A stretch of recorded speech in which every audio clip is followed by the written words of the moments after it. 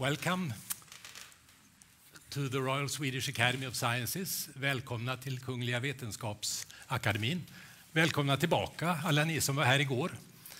Idag har Vetenskapsakademin eh, sammanträtt för att fatta beslut om årets Nobelpris i kemi. Jag heter Göran K Hansson och är akademins ständige sekreterare. Och med mig idag har jag ordföranden i Nobelkommittén för kemi, professor Sara Snogerup Linse och professor Claes Gustafsson som är ledamot av Nobelkommittén och en av experterna inom prisområdet. I'm Göran Hansen, Secretary General of the Academy, and with me is the Chairman of the Nobel Committee for Chemistry, Professor Sara Snogerup Linse, and also Professor Claes Gustafsson, member of the Nobel Committee. I will start by announcing the prize and read the citation. Uh, we will hear about the discoveries and the laureates from our experts, and we hope to have one of the laureates with us by phone. And of course, you, ladies and gentlemen of the media, are welcome to ask questions either in English or in Swedish. Årets pris handlar om cellens verktygslåda för att reparera DNA. This year's prize is about the cell's toolbox for repairing DNA. Kungliga Vetenskapsakademin har beslutat att 2015 års Nobelpris i kemi ska utdelas gemensamt till Thomas Lindahl, Paul Modrich och Aziz Sanjar för mekanistiska studier av DNA-reparation. The Royal Swedish Academy of Sciences has decided to award the 2015 Nobel Prize in Chemistry jointly to Thomas Lindahl, Paul Modrich, and Aziz Sanjar for mechanistic studies of DNA repair. Für mechanistische Untersuchungen betreffend DNA-Reparatur. Pour leur étude de la réparation de l'ADN. Za izsledovanje mehanizmov reparaciji DNK. And now, uh, Professor Sara Snogerup Linse, the chair of the Nobel Committee, will give some introductory remarks. Sara, please.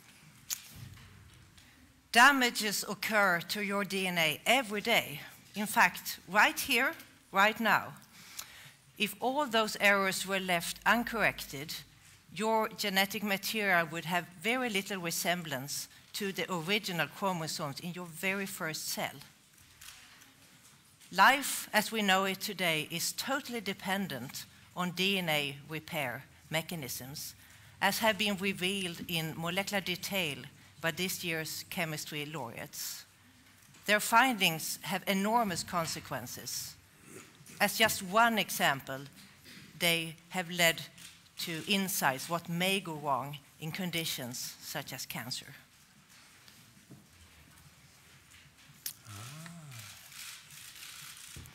This is a simplified model of DNA. It covers 22 base pairs. This little piece in reality is only 8 nanometers long, but every cell of you contains some 100 million times more DNA, which covers a distance of 2 meters. It contains the recipes to make all the proteins needed to build you and make you function. Almost every cell of you have almost exactly the same DNA. So there must be mechanisms to maintain the information. If I were to pull out the DNA from a human body and place it in one row, it would cover the distance from the Earth to the Sun and back 250 times. Although it's so much, it's remarkably similar. We have a repair mechanism, but we also have a replication machinery that copies the DNA at each cell division, and this has a remarkable fidelity. Still, like every chemical process, it makes mistakes at random, so there will be errors. But the DNA can also be damaged by other insults like radiation, or spontaneous decay, or chemicals, poisons, for example, as found in cigarette smoke. All those insults cause a variety of structural changes to the DNA molecule. Therefore, we need multiple repair pathways, as will soon be described by my colleague Claes Gustafsson. Thank you, Sara. Claes, you ready to give us some insights into this year's prize? I'm ready. So, uh, this is our DNA, our genetic material. and in every single cell in our body, we have genetic material that encodes for the creation of a human being. And this, uh, this information is stored in DNA and is written with a very simple chemical language containing only four letters or four bases A, T, G, and C. And changes to this information or damages to the DNA can have very serious consequences. So, what are those consequences? Well, for instance, DNA damage mutations can cause cancer, and they are also seen as an important or important contributing factors to normal biological aging. How then do these DNA damages occur? What, how do we get them? Well, it turns out that DNA, in spite of being the carrier of genetic information, actually has limited chemical stability. Our first Nobel Prize laureate, uh, Thomas Lindahl, demonstrated that there are a number of spontaneous chem chemical processes in our cells that take place all the time and that breaks down the DNA slowly. For instance, just one of these processes is what you have here. Normally in the DNA, you have base pairs between C and G, two different bases. But sometimes what happens is that the C breaks down and forms a U instead. U is a base or a letter that you would normally not found, find in the DNA. And uh, there must be some way to get rid of this. Thomas Lindahl calculated that we, this reaction happens about 200 times in every living cell every day. So over time, we would actually lose all our Cs. Thomas speculated there must be a repair system, and he went out to search for it. And he could indeed find one, which uh, a repair system that we now know, now know as base excision repair. What this, this system can do is that it can recognize the U in the DNA, it can flip it out and take it away, and then via a number, uh, set of other reaction, replace the U with the correct C again. This is just one of many types of base repairs that the base excision repair system can take care of. We, now know, we know today that there are more than hundreds different lesions to DNA that can be repaired by the base excision repair system, and it guards the information in our genomes. DNA mutation may also arise during DNA replication, which is the process when the genetic material is copied. And when do you need to copy the DNA? Well, that is when a cell is going to divide you need to take the genetic information in the first cell and you need to, to make two copies that can go to the two daughter cells. And in order to do this, you need to replicate or copy DNA.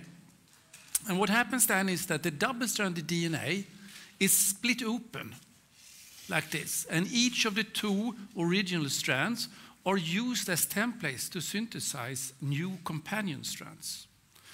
And during this process, it is extremely important that we recreate exactly the same base pairs that were in the original, original DNA molecule, like this one, a TA. But on very rare occasions, one in a million, there is actually uh, uh, an error introduced. There is a base coming in that shouldn't be there. And we call these incorrect bases mismatches. Our second Nobel Prize laureate, Paul Modrich, he has spent his life trying to figure out how these mismatches, how they are corrected. And uh, he has found a system which we now know as the mismatch repair system.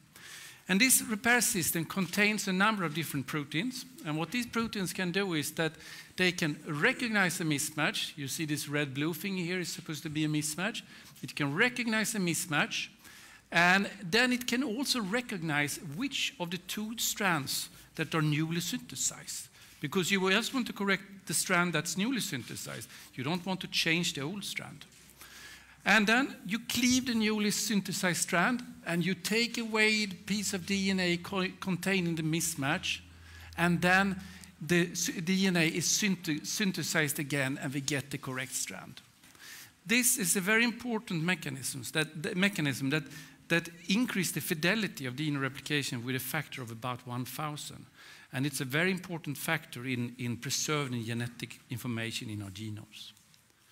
Finally, we can also get damage to our DNA due to external sources like UV light, ultraviolet light, present in ordinary sunlight. And one of the, the things that can happen is that if we have two T's, the letter T's here in the DNA next to each other, if we, uh, if we get ultraviolet light on these T's, sometimes they can actually there can actually be a chemical link formed between them, like this, that destroys the structure of DNA.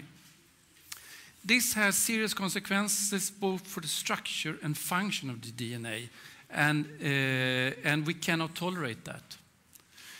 Our last uh, Nobel Prize laureate, uh, Aziz Sancar, has uh, investigated how one can take away this type of UV-induced damages in DNA. And he has identified the components and characterized the mechanisms of what we, know now, what we now know as nucleotide excision repair.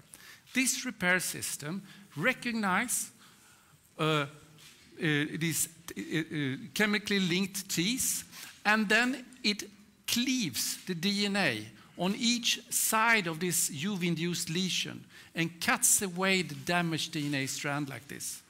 After this, we can synthesize a new piece of DNA which is then uh, chemically correct.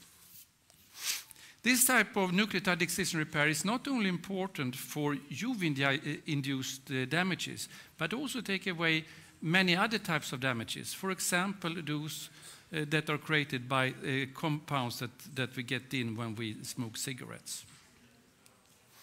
Together, our uh, three Nobel Prize laureates this year have explained basic mechanisms, basic cellular mechanisms at the molecular level that help to guard the integrity of our genomes. And for this, the Royal Academy of Sciences, Swedish uh, Academy of Sciences, is extremely proud to present to them the 2015 uh, year Nobel Prize in Chemistry. Yes. Thank you, Claes. Great Nobel Prize. Uh, I hope we now may have. Uh, do we have Thomas Lindahl with us uh, on the via phone line from London? Yes, I am here. Oh. God morgon igen Thomas, uh, tack för God att du är med Jag oss. missade tyvärr första hälften av presentationen. Eh? Så jag, jag hörde vad sades om Sankar, men inte om mig, om Modric. Ja, fint. Uh, maybe we should continue in English out of courtesy to our international course, huh? journalists. So, who would like to start asking Professor Lindahl a question? Thomas von Heine. Eh, hej, Thomas von Heine, Sveriges Television. Hej. eh, jag skulle faktiskt vilja göra det på svenska ändå. Du lär få frågor på engelska senare. Då säger vi så. Ja, eh, jag undrar bara, jag är väldigt nyfiken nu när det handlar om reparation av DNA. Eh, höra lite spekulation. Eh, vart är det här på väg någonstans? Riktning att vi kan bli så duktiga på att laga så att det blir evigt liv till slut. Vad tror du? Nej, evigt liv tror jag inte på. Men eh, många DNA-skador kan ju resultera i cancer och andra allvarliga sjukdomar. Så vi vill motverka de skadorna så mycket som möjligt. Och eh, då måste vi först förstå mekanismen för skadorna eh, eh, etableras. Tack. More questions? Who would like to continue? Yes. I think it's Per Snaprud. There is a microphone coming to you. Uh, does this system work the same way in our cells as in the cells of pathogens? And if there is a difference, is there any medication that uh, utilizes this? The DNA repair mechanisms are universally distributed. All living cells have repair mechanisms, but they are more or less efficient.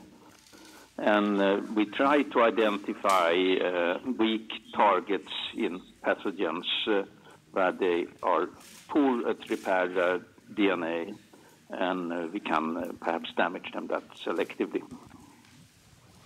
Could you elaborate a- little bit about what kind of pathogens that you are working with or considering? Uh, It's too early to say that we can target a specific pathogen this way. yeah? We just have to understand that many of the uh, drugs we use uh, damage DNA. yeah? And uh, so there is a balance here. We have our own repair mechanisms to try to counteract the DNA damage. Uh, when we want to selectively damage cells, uh, like cancer cells or infected cells, uh, the repair mechanisms are uh, less than helpful. But without repair mechanisms, we wouldn't be long lived. One final thing. It was mentioned that cigarette smoke damages DNA. Do you know how that happens? Yes, sir. Uh, cigarette smoke contains reactive uh, small chemicals.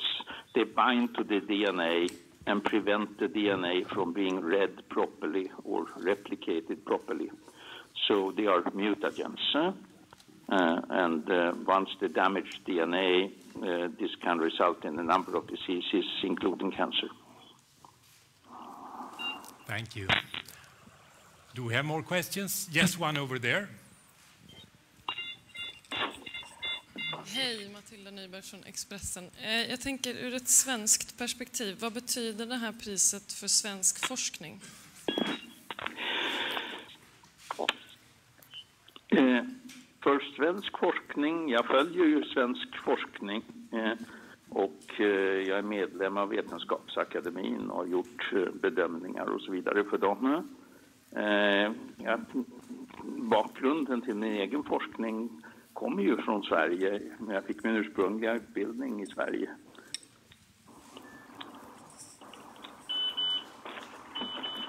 Så nu ringer mig telefonen här.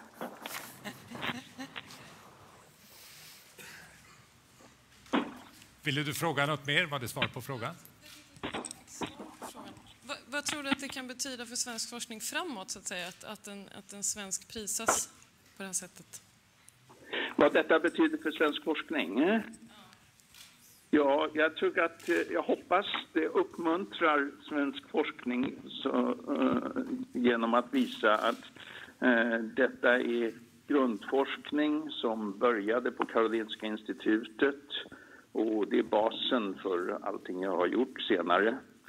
Uh, så att jag är mycket stolt och tacksam över att ha blivit eh, tränad på Karolinska institutet på det viset. Eh, Det, forskning är en internationell verksamhet så jag har haft sedan dess många medarbetare i världen, inklusive Sverige. Tack. Vi har en fråga. Kedjön Axelsson. Uh, thank you for uh, giving me the chance and uh, congratulations to uh, Thomas. Yeah. Uh, I'm uh, Sufjan Axelsson from Channel Radio and uh, Green Post. Uh, I just like to ask you that uh, uh, what was your uh, first reaction when you hear the news, and did you expect these news?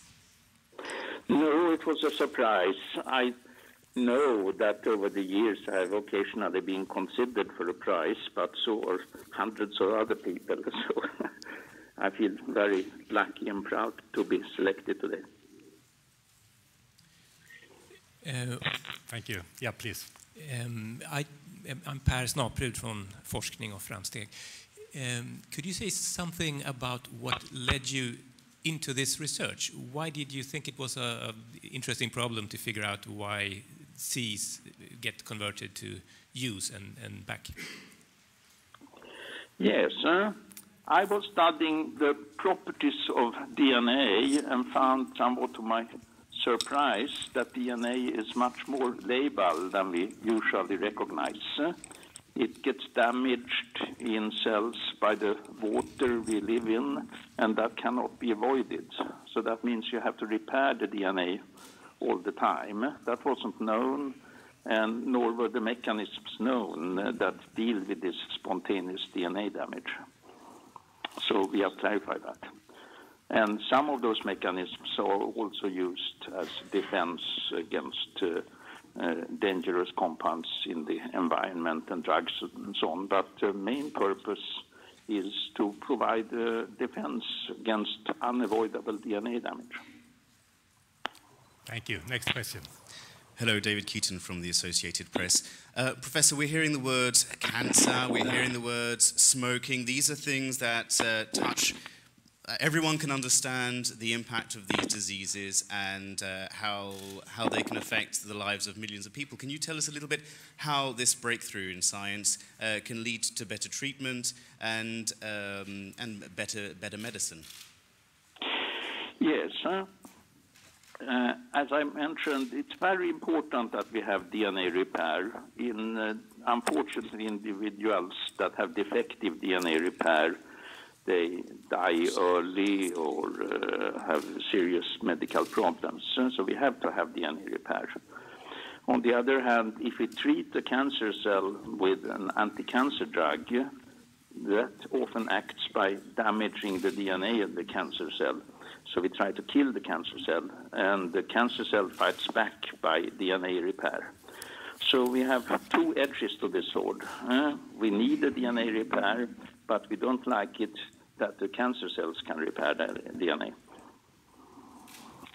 So we have to understand the mechanism so we can selectively uh, provide good therapies that way. So, so for the, the, the millions of people uh, that are going to be hearing about this prize today, uh, what does it, what sort of hope should it bring to them? in the uh, somewhat longer run, uh, we can provide better treatment and better drugs because we have to understand how DNA is damaged. We can't avoid DNA damage. We live in a world where we get exposed to DNA damaging agents all the time, and many of those are in our cells, and we can't avoid them. Thank you. Do we have more questions? Pastor has another one that he needs uh, an answer of. Can we get the microphone? I'm sorry for so many questions, but it's very interesting. I'm thinking about uh, viruses. Do they have this mechanism, or how are they related anyway to this research? Uh, yes. Uh, uh bacteria and large viruses uh, can code for their own DNA repair mechanisms, and that helps them overcome the defense mechanism of the host. That is not always a good thing for us. Eh? So we have to understand how the, the DNA repair mechanism works, uh, and this is what I and others have been doing. Eh? So we can, uh, for example, by radiation, selectively kill tumor cells without damaging the individual. Thank you. Do we have, yeah, the lady over there? You'll get the microphone right away here. Yeah. Eh, Anneli Megner Arn, TV4. Jag tar det på svenska också. Jag tänkte höra om du kan säga någonting, jag förstår att det är svårt att säga konkret, men lite grann hur man skulle kunna boosta de här försvarssystemen så att de klarar av cancer till exempel. Ja, vi vill nog inte klara av cancer. Vad vi vill göra är att selektivt döda cancerceller. Eh? En cancercell är en abnorm version av en normal cell. Eh? Och vi, vill, vi måste förstå hur de försvarar sig så att vi kan eh, inaktivera cancercellerna utan att skada de celler som eh, i, i vår egen kropp. Och hur gör man det? Genom att ha selektiva eh, behandlingar och eh, eh, sedan många år använder man eh, radioaktiv strålning, kallas radioterapi. Och det är fortfarande ett av de allra viktigaste medel vi har att behandla cancer. Eh? Det här är ju ett av de heta områdena inom cancerforskningen idag, att kunna eh, just förhindra att cancercellerna reparerar sitt DNA. Precis. Ja. Har vi fler frågor här? Alla är nöjda så långt. Då tackar vi Thomas Lindahl för att han var med oss. Thank you very much, Thomas, for being with us today. Congratulations again to your Nobel Prize and welcome back to your old hometown in December. Thank you very much, and apologize to the English-speaking people who had to sit through the Swedish presentation too. No problem, I think. Thank you very much. Bye-bye for Thank now. Okay, let's move on to questions to uh, our experts on the panel. Questions from the media. Have we exhausted all questions uh, already, or do you have anything you'd like to bring up, ask us about? This is your chance. Yes, please. I would like, just like to know if they have collaborated, the three laureates, or if Uh, not, not to my knowledge. They, uh, they have uh, worked completely independent of each other. So. And it's different mechanisms for DNA repair, as you said. Yes, more questions?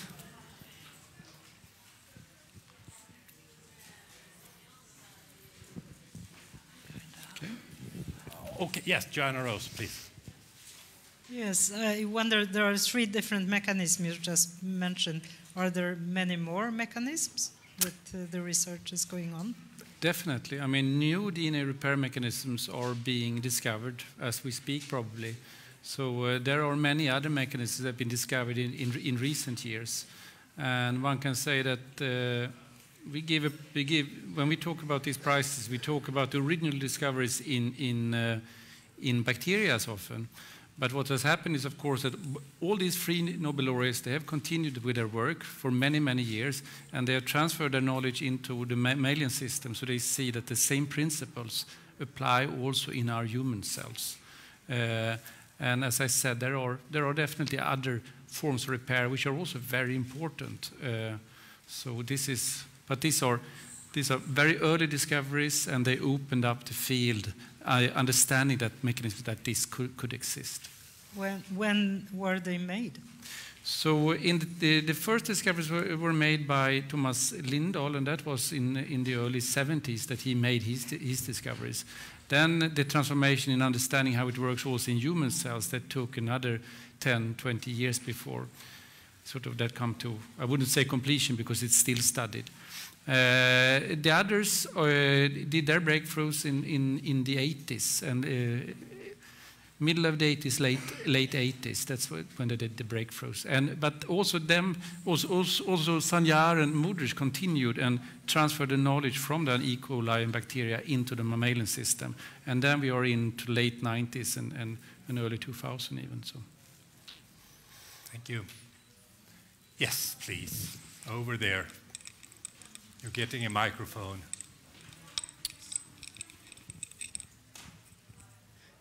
Uh, just a short question. Why did it take so long for you to give them this prize? Sara. Um, yeah, that's a question that's, of course, is difficult to answer, but each year we have a number. We have close to 400 nominations. So each, every prize cannot win every year. I guess that's the simplest answer. I think it's also fair to say that this story has unraveled step by step, and, and the enormous importance has become clear more and more during more recent years. Please. As Thomas Lindahl is a member of the Academy, could he have been here today voting as well? Or, I mean, how common is it that you give a prize to a member of the Academy? Oh, that's very rare indeed. Has it Uh, happened before? I think so. I, the last uh, prize in chemistry was uh, uh, in 1948 to Arne Tiselius, and uh, I wasn't even a member then. Uh, he was probably a member, but I don't know how it was handled. Thomas Lindahl has not participated at all in this process, not attended any of the meetings or contributed in written form to uh, any of the evaluations, of course. More questions? Yes, we have one over there. Hello, yeah. Matilda from Nordic Chinese Times. Um, wondering a little bit from the Chinese side, just about, not about this prize at all, but about the nomination process. Because there's a lot of Chinese people like often wondering how this process is going, like how it's proceeding and how you send out information. Are you actually sending out information to a lot of universities around the world about how to uh, nominate people for this prize? Uh, yes, this is exactly what happens. So a lot of universities and also individual scientists around the world get a letter where they're asked to nominate. Okay. Is it also in all the different languages and all the different universities? Um, the letter is in English, Okay. but it's sent to universities all over the world. And we pay special attention also to make sure that we include all parts of the world. all right, thank you. And we, do, we invite nominations from individual scientists at universities. We don't necessarily ask for nominations by the president of the university or the minister for science or anything like that. It's nominations by the scientists themselves, by the international scientific community. And we, as, as uh, Professor Snogerup Linse said, we really work hard to make sure that universities all over the world are invited to nominate. It could be scientists in China, uh, one university, the Peking, one year Shanghai, the next, universities in South and North America, um, Africa, throughout Asia and Europe and Australia. We don't cover Antarctica yet, but once there is a research university in Antarctica, we'll make sure they get the chance to nominate too. More questions?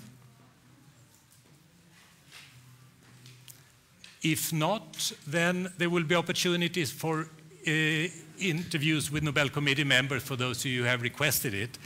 Uh, but this session is about to close. We hope to see you back on Monday for the announcement of the prize in economic sciences. Thank you very much for your interest and your attendance. Thanks. Bye.